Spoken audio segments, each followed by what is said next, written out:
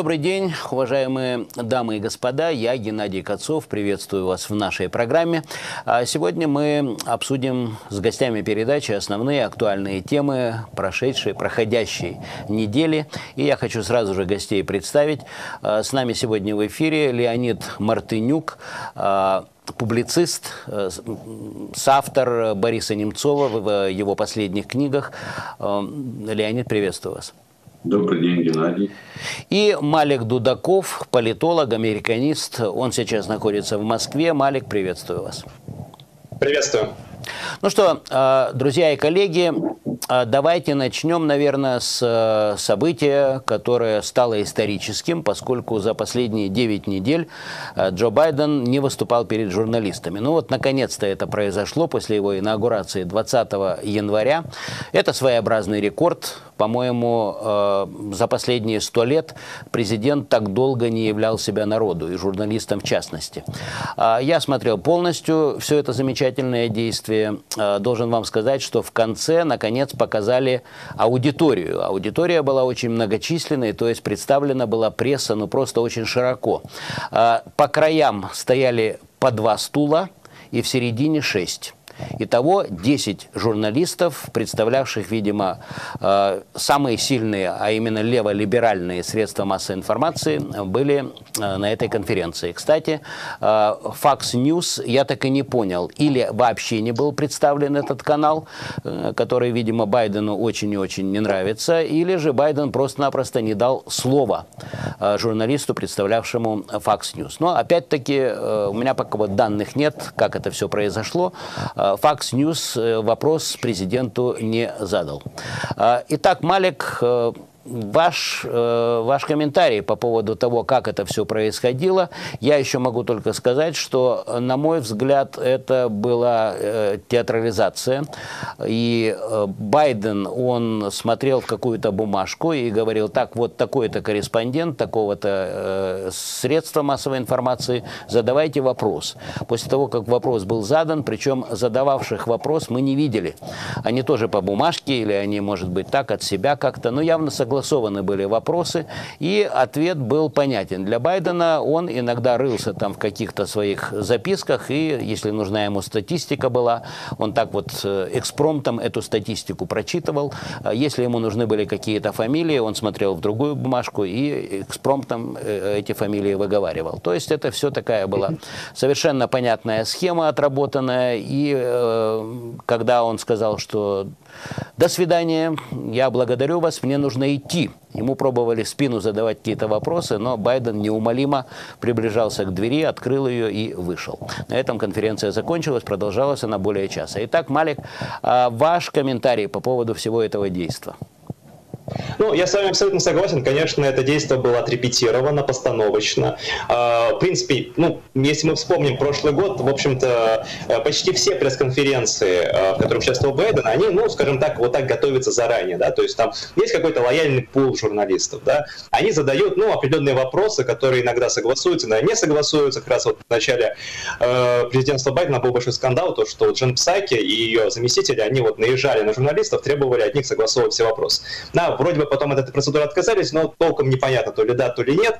А сейчас, конечно, ну вот Байден пришел, у него было все готово заранее, да, то есть у него, кстати, были карточки-подсказки, э, с которых он там вот тезисы, тезисно тогда озвучивал какие-то ответы на вопросы. Ну, понятно, что многие вопросы можно было предсказать, да, то есть то, что там происходит с вакцинацией населения, то, что происходит с э, пограничным кризисом, пока что самая большая э, момент напряженности для Байдена и его администрации, да, там какие-то другие вопросы. В общем, в принципе, тему можно было понять.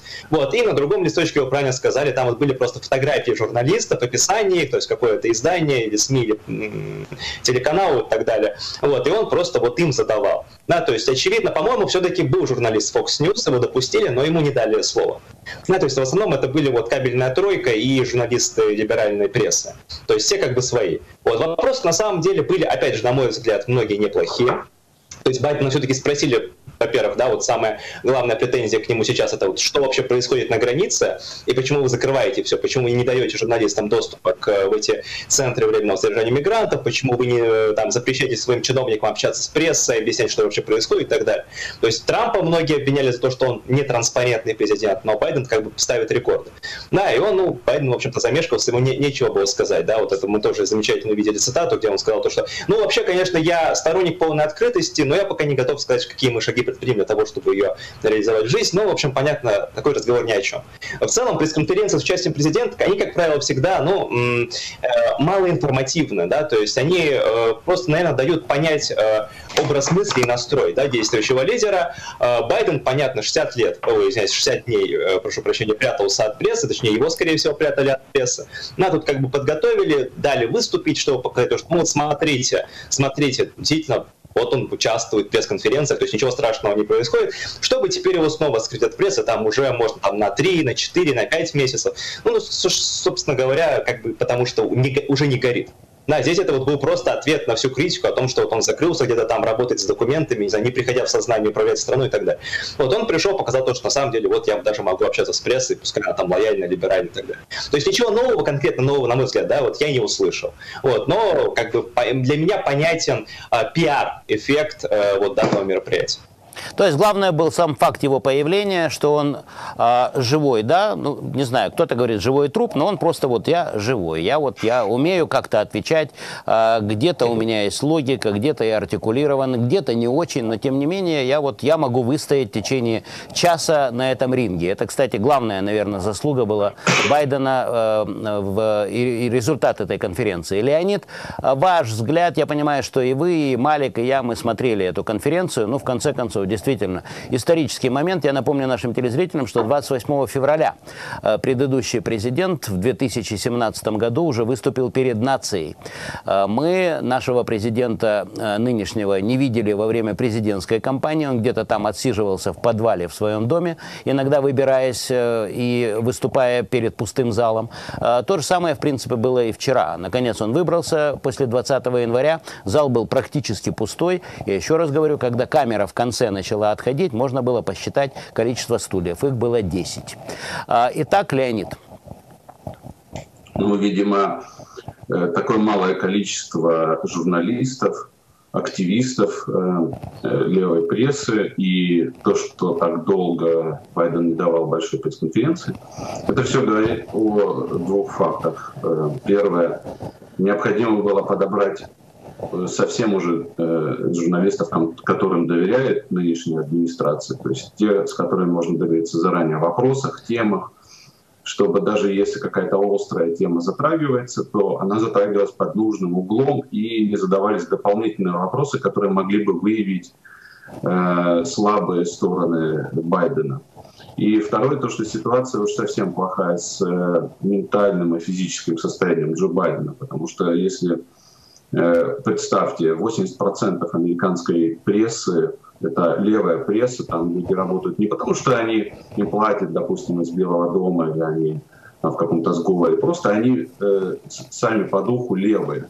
То есть они левые активисты, они работают в СМИ, и вот таких э, журналистов 80% в Америке. Это э, показывают различные опросы, это показывают данные о том, кому Э, перечисляют на, предвыборные периоды э, и, и различные журналистские организации, и сами журналисты. Так вот, изначально 80% медиа было позитивно настроено к Джо Байдену, и сейчас позитивно настроено. Они не собираются его критиковать. Но при этом все равно 60 дней они готовились к этой пресс-конференции. Они отобрали только там 10 или 12 человек. Это говорит о том, что для американского избирателя и для американских граждан создается некая виртуальная картинка реальности. И поэтому полезно будет пересмотреть фильм 97 -го года э, «Хвост виляет собака» Билли, э, Барри Левинсона. Я напомню, это фильм о том, как э, группа голливудских режиссеров, сценаристов и создателей виртуальных картинок приглашается администрация Белого дома для того, чтобы отвлечь внимание публики от э, сексуального скандала с президентом. Ну, тогда намек был на Билла Клинтона, хотя это было еще до реального сексуального скандала э, с Моникой Левинской. Так вот, сейчас та же самая ситуация. Есть реальные проблемы в стране. И есть президент, который ну, физически и ментально не способен управлять страной. За него управляет какая-то группа лиц. И эта же группа лиц создает э, позитивную картинку по ситуации в стране и пытается нейтрализовать э, какие, какие-либо имеющиеся проблемы. А, кстати, я бы хотел э, задать вопрос и Леониду, и Малику. А, мы сейчас говорим, кстати, э, ну вот э, во время этого, этой пресс-конференции э, прозвучал такой бросающийся в глаза лозунг «К 100 дням руководства страной 200 миллионов доз вакцин». Э, первые 100 дней и 200 миллионов. Ну, это звучит красиво. Э, здесь у меня вопрос, поскольку я не совсем понимаю, я об этом уже неоднократно говорил, что происходит с точки зрения ковида-19. С одной стороны, у нас э, вакцинируются, многие вакцинируются. Вот вчера уже белый Бродвей объявил, что будут открываться в ближайшее время бродвейские шоу, поскольку много людей, работающих на шоу, там, естественно, и работники сцены, и э, опять-таки актеры, они провакцинировались и таким образом уже могут открываться шоу. А, Э, ну и разных сферах, опять-таки. У нас вроде бы э, такие подвижки идут к тому, что в позитиве мы начинаем рассматривать, как мы боремся с ковидом-19. В то же время существует простая арифметика. На этой неделе было объявлено, что больше 545 тысяч американцев умерли от ковида-19. Байден 20 января, выступая после инаугурации вечером, он сказал о том, что у нас в стране 400 тысяч умерших с мая прошлого года, с марта, простите. 11 марта была в 2020 году объявлена пандемия. Итак, с марта прошлого года по 20 января у нас умерли 400 тысяч американцев. Сейчас мы говорим о том, что у нас 545 тысяч умерших. Если мы 545 вычтем 400, то получается 145 тысяч. Это примерно треть от всех умерших за год с 11 марта прошлого 2020 года. Это же катастрофа. Трампа обвиняли в том, что 200 тысяч человек погибших, это на его совести, это его вина. Это было в прошлом году. Сейчас за два месяца у нас умерли 145 тысяч американцев, и все молчат, говорят о том, как замечательно у нас проходит вакцинация. Малик, у вас есть ответ на этот вопрос? Или же ответ простой? Имеем такую прессу, которая на Трампа готова была всех собак на, на, на, наускивать, а по поводу Байдена мы молчим. Не, ну, конечно, с вами абсолютно согласен, да, то есть э, при Трампе либеральная пресса, да, левая пресса, она, ну, возлагала ответственность просто на Трампа за каждого де-факто умершего да, если уж там говорить честно, конечно, там были какие-то еще действительно раскладки о том, что вот он конкретно виноват в смерти там 100, 200 тысяч и так далее. Но, безусловно, да, вот э, там, не знаю, CNN, у него постоянно был вот этот вот датчик того, сколько же погибло, да, вот как, не знаю, Байден стал президентом, датчик сразу исчез, да, теперь это уже не так э, удобно и выгодно считать, сколько же погибло от коронавируса за вот эти там 2-3 месяца. Да, то есть я думаю, что, конечно, там либеральные факт-чекеры, они всегда там могут найти миллион причин, почему сейчас нарастает, да, какое-то время э, там динамика по числу умерших, там можно тоже на Трампа возложить вину, то, что вот, значит, как-то вот эта зима прошла не очень уверенно. Можно сказать, то, что это действительно погодное явление, зима, начало весны, такое холодное время, люди тоже заражаются часто. Ну, то есть при, при желании можно найти, конечно, причину какую-то, вот, но это не так важно, да, то есть важно в данном случае, безусловно, вот это вот лицемерное отношение. Да, с одной стороны, Трампу, а, который, при том, что, да, безусловно, у Трампа были ошибки при реакции на пандемию, безусловно, там его можно за что критиковать, вот, но он провел титанические усилия, а, снял, а, убрал огромное количество регуляций для того, чтобы там до конца года вывести вакцину на рынок. Да, то есть я, мы помним, как там э, в мае, в начале лета 2020 года вся либеральная пресса писала о том, что это нереально. Потому что для создания вакцины нужно два года минимум. Вот Трамп показал то, что это реально добиться за, там, за 8 месяцев, если просто наладить работу государственного аппарата вместе с э, частным сектором, и это, это можно сделать. Да, и он этого, в принципе, и добился, и чем поставил, э, поставил ну, некоторый тупик да, многих демократов, которые надеялись тому, что вот вакцинация начнет массово только при Байдене, и вот таким образом он возьмет, скажем так, ну, получит э, там дополнительный какой-то бонус да, в глазах избирателей тем, что вот он как бы справляется с коронавирусом. Вот это началось все-таки при Трампе. То есть динамика позитивная по вакцинации началась при Трампе, там в ноябре, в декабре месяце уже вышли на 1 миллион вакцинированных в год. Э, сейчас при Байдене, безусловно, она растет, потому что как бы вакцины все больше и больше выводятся. Ну и Америка, в принципе, действительно смотрится довольно неплохо да, в сравнении с остальным миром, там, не считая Израиля, Арабских Эмиратов, ну, допустим, с, в сравнении с Европой, с Россией, где там темпы вакцинации гораздо ниже, то есть США и Соединенное Королевство и Израиль, три страны лидера в плане вакцинации. Вот, но это как бы тоже, конечно же, а, заслуга Байдена только в том плане, что вот он не ломает, не, не сломал ту систему, которая была налажена до него Трампом. Вот. Но, безусловно, он получит за это, конечно, определенный бонус, но тут, как, тут это политика, да, то есть здесь как бы спорить не о чем. Вот. Но нужно, безусловно, говорить о том лицемерном отношении, а, которое показала пресса в прошлом году и которое показывает пресса в нынешнем году. Ну, кстати, э, на погодные условия сегодня Байден списывает и ситуацию на южной границе. Он тоже говорит о том, что э, понятно, поскольку зима, и э, мы понимаем, что там в районе районе Техаса, Аризоны, а там более благоприятная температура для перехода границы, чем, к примеру, летом, когда там за 40 по Цельсию, и люди просто от жары погибают. Поэтому Байден говорит, ну, понятно, у нас обычно всегда зимой поднимается количество перешедших границу, а летом мы увидим совершенно другую динамику. Э, в общем-то, э, здесь не обсуждается даже то, что даже часть стены на самом деле уже снесена. Можно говорить о чем угодно, но получается, что э, при Байдене не только его заявления способствовали тому, что люди э, получали уверенность более-менее, что если они перейдут в Соединенных Штатах, границу в Соединенных Штатах, они в результате с годами могут получить гражданство. Но еще то, что приняты были какие-то физические меры для того, чтобы граница была более-менее открыта. Об этом не говорится. Ну, говорится о погодных... абсолютно, да, конечно. Да, говорится... Плане, что теперь ему он сначала отменяет многие решения Трампа по да, депортации мигрантов, теперь их снова их возвращать, потому что как бы нужно как-то решать эту проблему, которая превращается в настоящую гуманитарную катастрофу на границе с Мексикой. Да, Леонид, то же самое происходит и по поводу ковида. А, ну, понятно, зима, как обычно при ну, ситуации с гриппом, а, многие люди болеют, а вот лето наступит, у нас все будет прекрасно, да, и с вакцинами 200 миллионов они нам помогут. А, как вы вот э, эту ситуацию, которую я только что объяснил, элементарная арифметика, 145 тысяч, 146 уже э, погибших от вакцины за последние два месяца. Это я еще раз говорю, примерно треть от погибших за год. При этом пресса практически об этом молчит. Никто не называет Байдена убийцей 145 тысяч человек, как это было в прошлом Миллион. году. А, да, тысяч. тысяч, да. Э, вот. И при этом мы говорим о вакцинации, у нас все замечательно. Как вы это все прокомментируете, Леонид?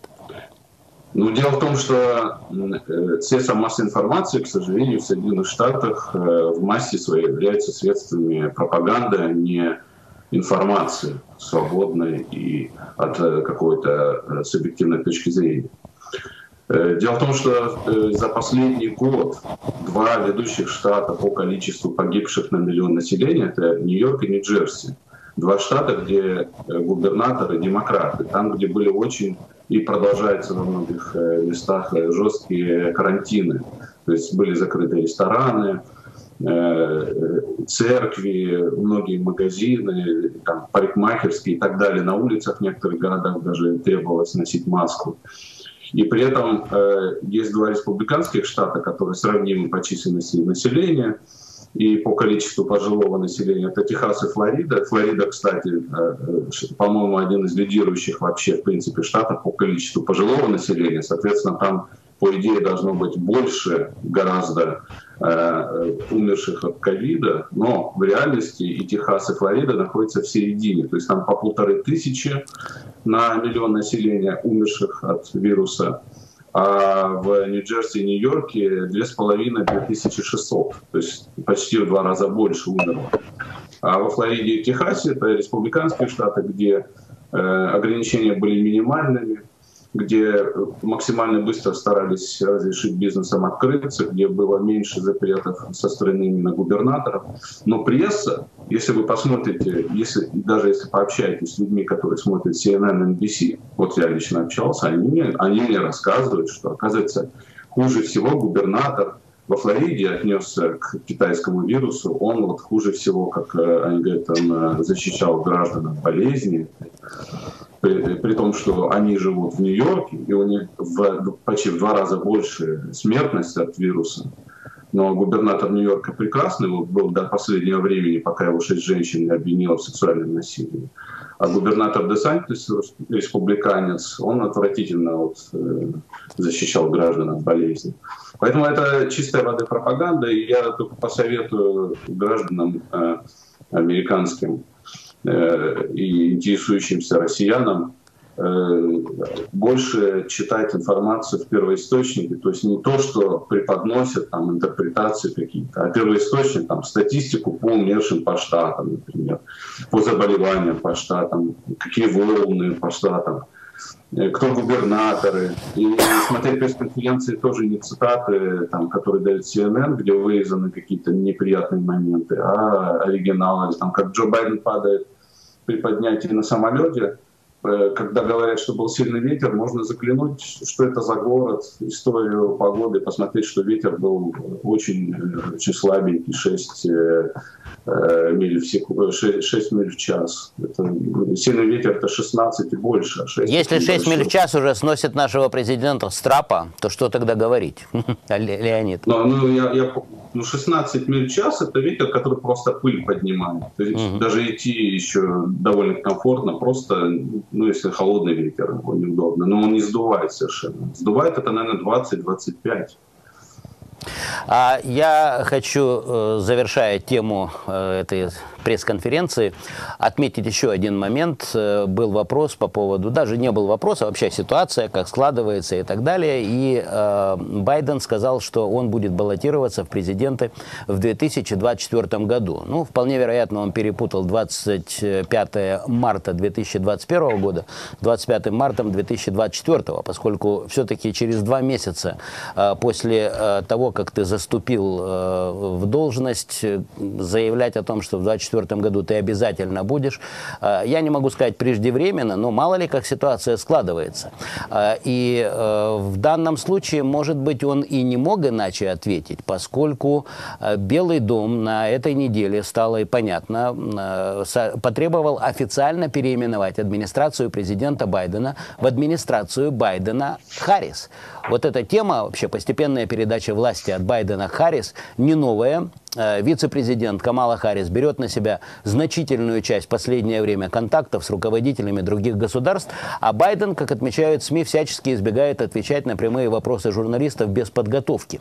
Ну вот о том, что вот такое заявление Белого дома в администрации Байдена Харрис, э, так на всю Америку рассказал телеведущий Такер Карлсон в эфире э, Fox News.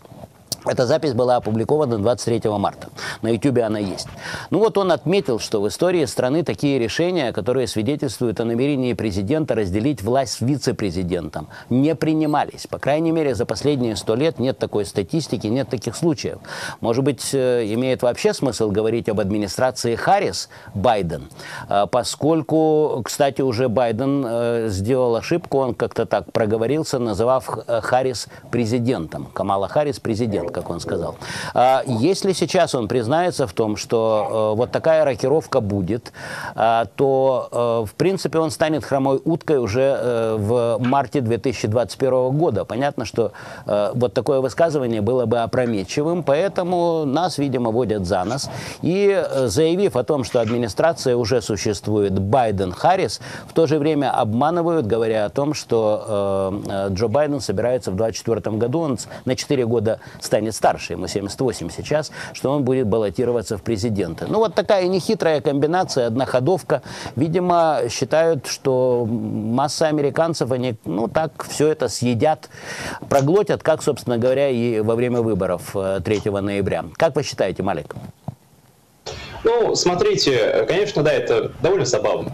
Я с вами согласен в том плане, что, конечно, ему не хочется становиться хромой уткой сейчас. Это, понятно, ударит по рейтингам. Это де-факто он сам признает то, что вот э, физически и умственно он не способен, э, может быть, даже уже в ближайшем будущем исполнять обязанности президента, если он там отказывается сразу от выдвижения на 24 год. Да, то есть нам, опять же, очевидно, что, скорее всего, он не пойдет. Да, то есть 82 года, если ему он уже сейчас 78 лет, там выступает на трапе, договаривается постоянно. А, кстати говоря, на вот пресс-конференции, которую мы только что обсуждали, да, он сказал то, что, значит, я попал в Сенат 120 лет назад. Да, это, видимо, в начале 20 века, мы там в районе 150. А, ну, тоже, конечно, была забавная оговорочка по Фрейду. Вот. Ну, понятное дело, что через 4 года он будет еще хуже э, э, в плане здоровья, да, и там вот просто он уже будет вообще не выходя из комы как-то участвовать в президентской гонке. Э, понятное дело, что, конечно же, там основной упор будет именно Камала Харрис, и очевидно, что она вот такой президент in waiting, как э, говорят, то есть человек, который будет, займет э, пост э, Джо Байдена в нужный момент. Да, возможно, будет под выборы, возможно, это будет даже сейчас, там, в ближайший год-два, непонятно пока еще. Вот, но очевидно, что к этому готовится, да, то есть вот такой э, закрытый, да, от общества, от э, публики э, транзит власти, он, наверное, начинается на наших глазах. Да, то есть понятно, что там уже как внутри команды очевидно, куда это, к чему это придет, да, к транзиту власти уже в руки Камала Харрис. Эм, другое дело, что как бы признавать этого до момента X, когда, ну, это все-таки уже будет официально объявлено, ну, не хочется.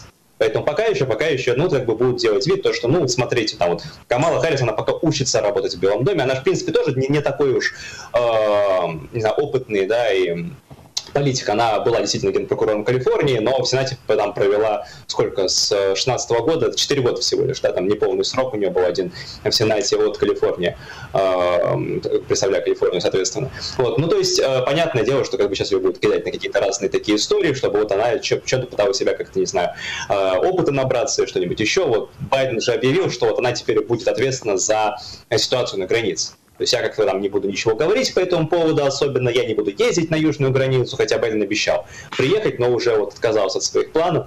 А, вот Камала Харрис, видимо, сама будет ездить. Ну, кстати говоря, вот здесь тоже такой интересный момент. А, несмотря на то, что Камала Харрис, очевидно, да, гораздо моложе Байдена, у нее нет всех этих проблем, которые есть у Байдена, ее же тоже не так уж и много, на самом деле, в медийном пространстве. То есть она не сказать, что дает много пресс-конференций. Ну, не так часто можно увидеть как-то в общении с э, журналистами.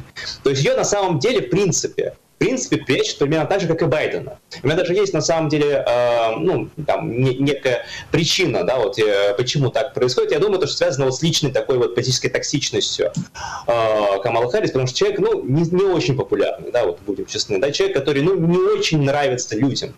Мы помним, как у нее трагично закончилась ее э, кампания во время предвыборной гонки демократов на праймерис, да, то есть она там сошла с дистанции, у нее там было что-то в районе 2% рейтинг, ну то есть там совсем мало еще до голосования в Айове.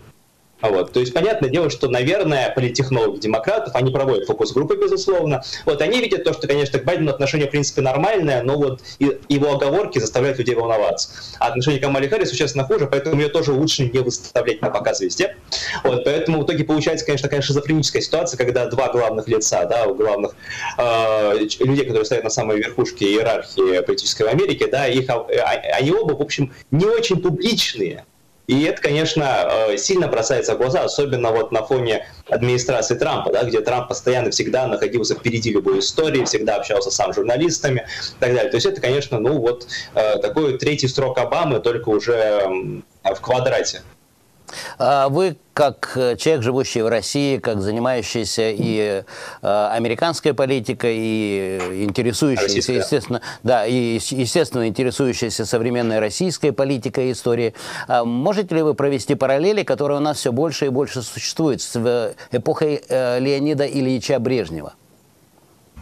Ну, э, ну, наверное, конечно, можно в шутку говорить, да, то, что вот Байден это тоже вот повторение сиськи-масиськи, да, все эти постоянные оговорки и так далее. То, что вот там у Байдена тоже есть свое такое политбюро, неофициальное какой-то кабинет министров, там близкие советники Обамы, Клинтона, э, близкий круг, кстати, Камала Харрис, хотя у нее команды как таковой нет, но она сейчас формируется, да, который принимает все решения, а вот он просто вот такой, э, не знаю, такая показная фигура, которая вот э, выставляется а, впереди вот эти все команды, да, и, в общем, транслирует идеи, которые ему там говорят его помощники. Ну, слушайте, э, наверное, в какой-то степени это справедливая точка зрения. А, опять же, ну, тут можно спорить, не спорить, но это вот как бы следующие там три года они будут вот проходить в таком же виде, да, то есть Байден, которому все хуже и хуже, э, ну, такой, не знаю, как его можно сказать, либеральный застой, да, вот в политической системе американской, да, вот где все будет идти по накатанной, э, то есть там все тренды, которые про Байдена начались, да, будут продолжаться, республиканцы будут как-то этому сопротивляться, в общем, такая будет тягомотина, э, виотекущая, да, и она, в общем-то, закончится только, я так понимаю, что вот ближе к 2024 году уже там, может быть, выборы, э, которые решат уже, кто э, станет следующим президентом, потому что я сомневаюсь, что Байден все-таки будет сам избираться, поэтому либо Камала Харрис, либо кто-то из республиканцев. Вот я, я не очень, я не, не кажется, что, вот, допустим, выборы 22 года сильно повлияет на вот эту всю тягомотину. Вот, но я согласен с тем, что, да, наверное, вот это можно назвать таким вот периодом либерального застоя. Леонид, ну, кстати, вот Малик сказал, что э, Камала Харрис, она практически не дает интервью. Первое же интервью, которое она дала, потом пришлось э, оправдываться работникам Белого дома по поводу этого интервью. Она там напортачила немало. А ее, как Байдена, видимо, нужно тренировать, готовить и вопросы задавать такие, на которые она выучила на зубок ответы. А ваш комментарий по поводу администрации Камалы Харрис Джо Байдена. Может быть, так уже имеет смысл называть. Я должен сказать, что э, ведь столько десятков миллионов людей проголосовали 3 ноября за эту пару. Одно дело там фальсификация выборов, не фальсификация, но реально ведь десятки миллионов людей проголосовали за Байдена и Камалу Харрис. Как вы считаете, так отлично сработала пропаганда, что всех собак навешали на Трампа, и люди голосовали лишь бы не Трамп, получается, за кого угодно. Ведь вот эту структуру э, вначале э, побеждает Джо Байден, а потом принимает от него власть Хамара, Камала Харрис. Ее очень подробно рассматривали и до 3 ноября, и после 3 ноября. Говорили о том, что в результате президентом станет крайне непопулярный человек и в своей партии. Среди демократов от 2 до 4 процентов она получила получила поддержки э, внутри своей партии. Э, Леонид. Я бы сравнил ситуацию в Соединенных Штатах не с э, застоем конца 70-х э, в Советском Союзе, а с ситуацией в России во второй половине 90-х. Потому что когда в 96 году победил на выборах Борис Ельцин, он тоже находился в очень плохой физической и ментальной форме, и многие люди, которые находились близко тогда к нему, они сейчас уже в мемуарах, там, в интервью говорят о том, что э, Борис Ельцин э, не руководил страной как президент. Была группа лиц, которая, э, имея доступ к Ельцину, решала все вопросы. Например, вопрос о том, кто будет его преемником, что это будет именно Владимир Путин, потому что там было несколько кандидатур. Этот вопрос решался дочкой, э, мужем дочки, будущим э, э, Дьяченко Валентином и руководителем администрации Волошиным, Абрамовичем, Березовским. Вот эта группа лиц, которая имела доступ к Ельцину, она могла его убедить, а сам он самостоятельно, э, у него не было никаких источников информации, способности проанализировать. Он верил тем, кому он, собственно, до этого доверял. Казалось, что ему казалось, что эти люди его, э, ему плохого не посоветуют. Так? Также и сейчас ситуация с Байденом проблема не в том, что он э, в плохой физической форме, он может принять какие-то плохие решения. Дело в том, что он никаких решений не примет, потому что за него эти решения принимает некая группа лиц, которая, собственно, его и в Белый дом поместила. Потому что э, четыре года медиа и, так скажем, крупнейшие бизнесмены, крупнейшие владельцы социальных, социалистических сетей американских, Голливуд, они возмущались тем, что президент – Э, смеет возражать э, так называемому deep state, то есть глубинному государству, бюрократическому аппарату, каким-то чиновникам, которые по 30-40 лет э, работают чиновниками. И вот он им посмел возражать, исходя из того, что он, у него были предвыборные обещания перед Дональд Трамп, и он их должен выполнять. И вот были очень большие возмущения, и, видимо, Э, они решили в другую крайность э, э, ринуться. Это крайность, когда президент вообще ничего не решает сам, и решает этот самый state и группа лиц, которая стоит за президентом, которая его финансирует, которая дает ему медиаподдержку.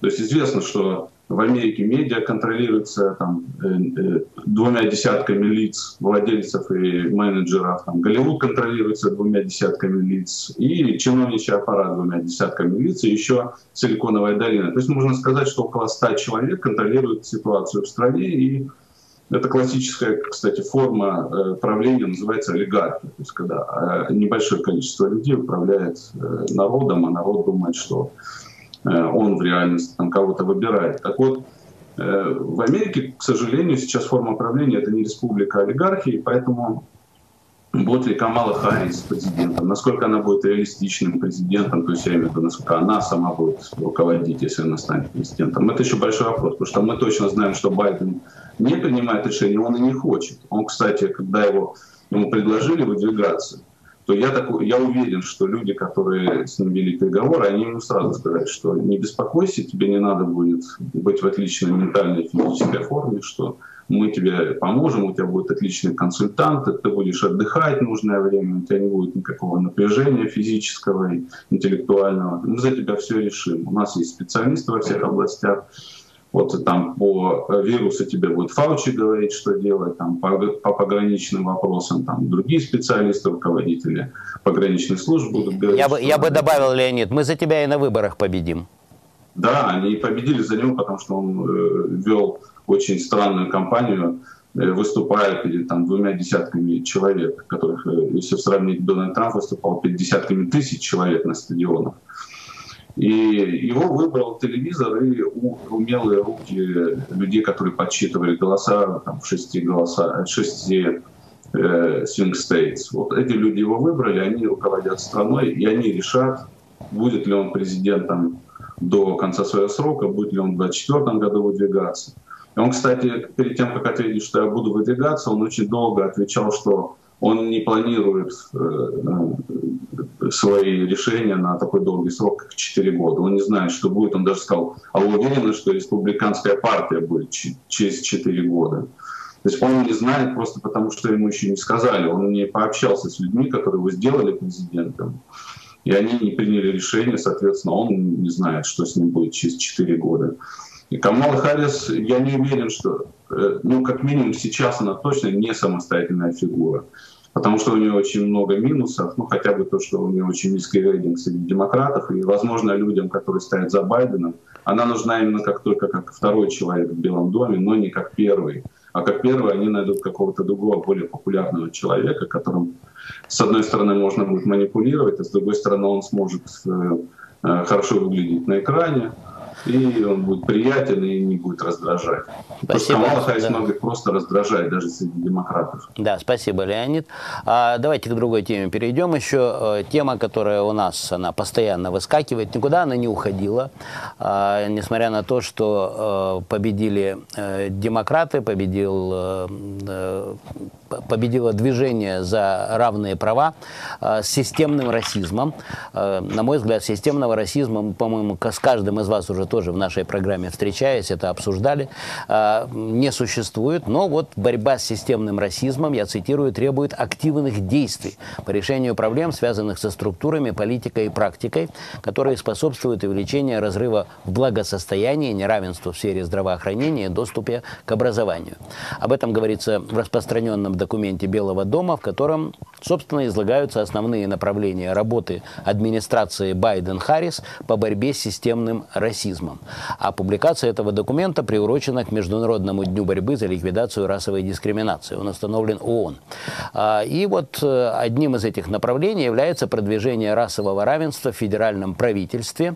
А, ну, мы понимаем, что и гендерное, и расовое равенство у нас не только теперь в федеральном правительстве, в массе сфер нашей жизни, э, и э, на местах, где люди работают, и в Голливуде у нас все, в общем, мы теперь в фильме видим абсолютное равенство равенство и гендерное, и расовое. Там просто не может быть э, отсутствие, ну, к примеру, там, афроамериканцев, э, латиноамериканцев, или, не дай бог, упустите один из героев, э, все, все герои будут э, не принадлежать к ЛГБТ-сообществу. Ну, вот такая тема на которую, похоже, наше федеральное правительство денег не пожалеет. Уже рассматривается следующий план вливания трех триллионов долларов.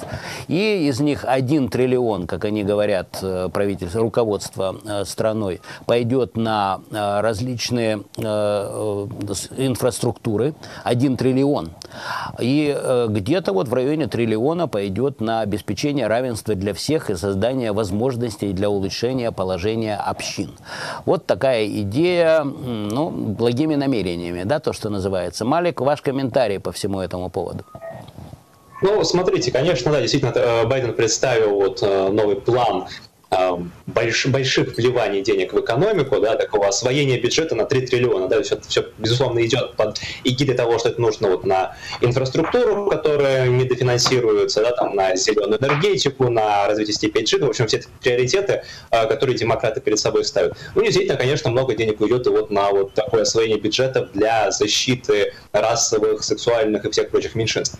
Ну, то есть, понятное дело, что как бы, ну, вот э, демократы дорвались до кормушки. Они имеют возможность. Теперь, опять же, э, прошлого года было открыто окно Вертона, да, вот они себе могут теперь позволить э, вливать триллиона долларов в экономику, а, да, то, что там раньше, э, скажем так, это все-таки было ограничено, потому что там были разговоры о том, как это растет госдолг, дефицит бюджета и так далее, то теперь в условиях кризиса, ну, скажем так, вот э, э нужно воспользоваться, да, вот там, чтобы ни один плохой, э, э, ну, в общем, если есть кризис, вот им нужно воспользоваться, да, и, конечно же, воспользоваться, влив деньги вот на свои приоритеты. Там зеленая энергетика и в том числе, конечно, вот там развитие. Я не совсем даже понимаю, что они будут, конечно же, на что они будут тратить, но я думаю, что найдут безусловно, там на создание каких-нибудь новых квотируемых рабочих мест только для представителей меньшинств или еще нибудь еще такого. Ну вот сейчас, вот, ну, Малик, сейчас деле... ведь, сейчас ведь да, да. тема очень активная, это азиаты, да? А, администрация борется с расизмом, ксенофобией, да. нетерпимостью в отношении американцев теперь азиатского происхождения. После того, как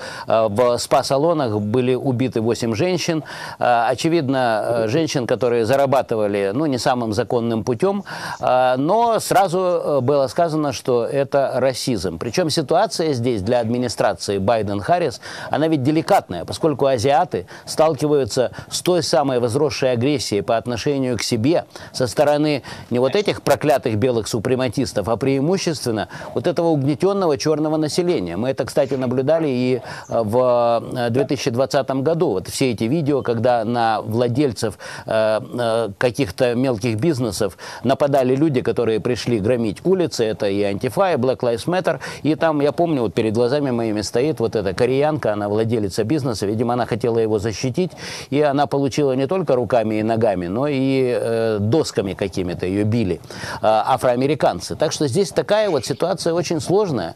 Э, и... Ну, да, да. Конечно. С, азиатами, безусловно, да, у демократов большие проблемы, да, то есть, безусловно, во-первых, с одной стороны, да, они их обвиняют в том, что вот они встраиваются в систему вот этого белого супрематизма, да, вот вместо того, чтобы, значит, вот в одной коалиции меньшинств бороться с а, системой э, вот этого институционального расизма, да, как его называют в Америке, э, вот они, значит, вот пытаются влиться в общество, интегрироваться, ассимилироваться, в общем, нормально жить американской мечтой, да, вот, и там вот буквально недавно был тоже скандал в Калифорнии, где там э, местные чиновники, это, по-моему, в Министерстве образования компания Сан-Франциско, да, обвинили вот э, азиатов в школах в том, что вот они как бы э, борются против э, ведения всяких разных курсов для вот э, расовой справедливости и так далее, потому что считают то, что как бы это ударяет по ним. То есть это ударяет по их детям, которые получают плохое образование, да, у них как бы меньше шансов потом вырваться в хорошую жизнь. Вот. И, безусловно, там, собственно, главные в Америке ребята, кто дискриминирует азиатов на текущий момент, это вот замечательная это либеральная публика в крупных а, частных колледжах. Да, то есть там вот Лига Плюща, ну, сколько лет уже скандалов идет о том, как там дискриминируют азиатов, потому что они вот действительно хорошо учатся, поступают, но в связи с тем, что их там становится как бы слишком много в кавычках, по мнению вот там тамошних вот этой вот самой э, профессуры, да, то вот вводят какие-то запретительные квоты, чтобы вот и белых, и азиатов было как-то поменьше, а вот больше было бы там чернокожих, индейцев и так далее, тех, кто недо представлен, да, вот в этих самых институтах.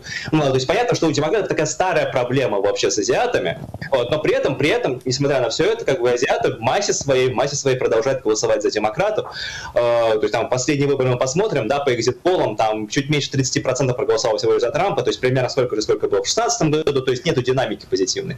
Трамп получил, правда, больше голосов испаноязычных, чернокожих, но по азиатам как бы как-то все не очень. То есть республиканцы не могут достучаться до этой аудитории, вот, но демократы, я думаю, что сами понимают то, что хоть а эта электоральная группа из-за них и голосует, и их поддерживает, но в перспективе, в перспективе они, конечно, не, не вольются в эту замечательную коалицию меньшинств. И поэтому, ну, скажем так, пытается вот, э, я не знаю, решить это, этот ребус, да, эту проблему, там, с одной стороны, вот, предлагаем деньги, но с другой стороны, как бы, предлагаем как-то, не знаю, дезинтегрироваться из системы расизма, как они это понимают. Ну, а, кстати, э, Леонид, вот то, что говорит Малик, когда э, в Лиге Плюща, в этих университетах существуют квоты на белых белых и на азиатов. Причем Ельский университет даже судили в 2019 году, а, до этого Гарвард, а, Ельский в 2020 году. И, э, в общем-то, это, это достаточно известная вещь. Квоты на азиатов и на белых – это и есть расизм. Я, кстати, хотел бы, чтобы вы прокомментировали э, вот эту стрельбу в городе Болдер, штат Колорадо, когда погибли 10 человек, в том числе полицейские. Виновный был задержан, и мотивы его до сих пор не раскрываются. Я напомню, что когда вот в этом спа-салоне произошло это убийство, там был молодой человек, он белый, сразу же договорили о российских мотивах. Хотя он говорил о том, что у него сексуальные проблемы, и он именно стрелял в проституток, поскольку эти проблемы он таким образом выплескивал наружу. Здесь же, в Болдере, сразу э, молчание такое. И э, потом оказалось, что э, тот, кто убил 10 человек, он араб. Причем э, это араб, который заявлял о своих террористических намерениях, и ни слова не говорится о том, что в данном случае это террористический акт. Э, Ахмад Алиса, араб из Арвады, это город, расположенный недалеко от Денвера, и э, он выставлял там в, в каких-то соцсетях свои взгляды, показывал, высказывания и так далее. Но в наше либеральное время, видно, как-то нехорошо говорить, что убийцей 10 человек оказался араб, да еще и по имени Ахмад Аль-Аливи Алиса. А, причем Пользователи социальных сетей, они тут же заметили, что известные личности либеральных взглядов немедленно начали удалять свои комментарии, в которых они поносили всех белых мужчин. Когда стало понятно, что это араб, начали убирать комментарии. И в частности, Мина Харрис – племянница вице-президента Камалы Харрис, которая назвала белых мужчин главной террористической угрозой Америки, вот после этого случая в Болдере, она тут же моментально удалила этот свой, свой твит. Племянница нашей вице-президентши. Вот она может поносить белых мужчин. За это ее ни тетя, ни наши либеральные СМИ не пожурят. Э, Леонид.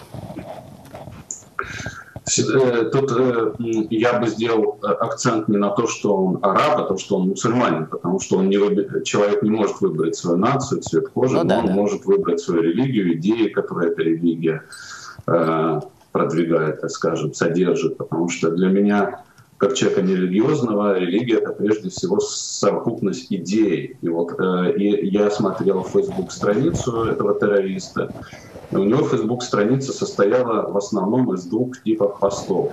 Первый тип пост, пост, поста – это видео либо фотография, посвященная э, каким-то бойцам э, боев без правил.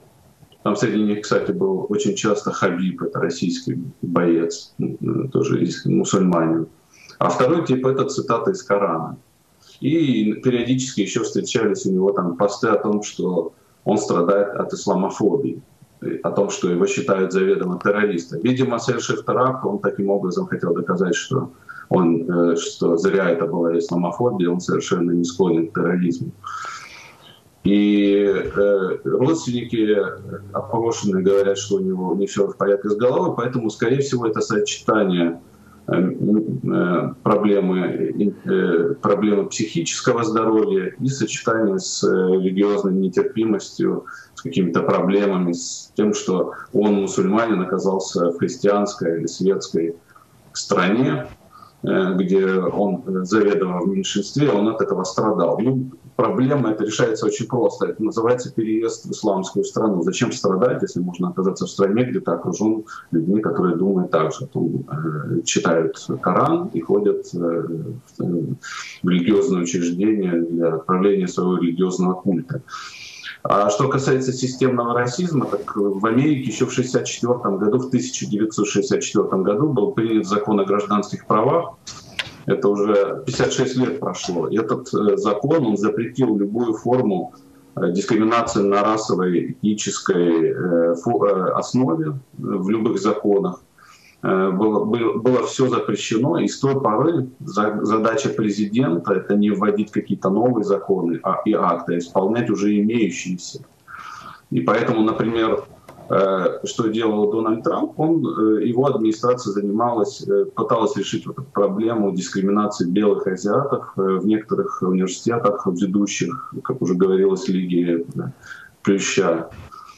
И, к сожалению, эта проблема была не, решена, не была решена, и даже Верховный суд уже несколько раз к нему обращались, он эту проблему не решает, хотя это очевидная дискриминация. То есть если человек Э, допустим, иммигрант из э, Украины, какой-то бедный украинец будет поступать в университет, он будет считаться, э, допустим, елем, как человек, представляющий привилегированный класс. А если какой-то богатый иммигрант чернокожий из Нигерии, например, там сын миллионера будет поступать, он будет восприниматься системой именно этой расовой, как человек из непривилегированного, как из подавляемого угнетенного класса. И, соответственно, при даже если этот чернокожий парень получит меньше баллов э, э, экзаменационных при поступлении, при, чем, чем парень из Украины, то поступит этот чернокожий сын миллионера. То есть это очевидная дискриминация именно на расовой Мало, мало того, Леонид, э, как бы он ни учился, он потом получит диплом и вырастет да, такой специалист. В этом весь ужас. Что в этом весь ужас. ужас потом, том, что, да, потом, э, врач, же... потом врач у нас такой, потом у нас э, такой адвокат,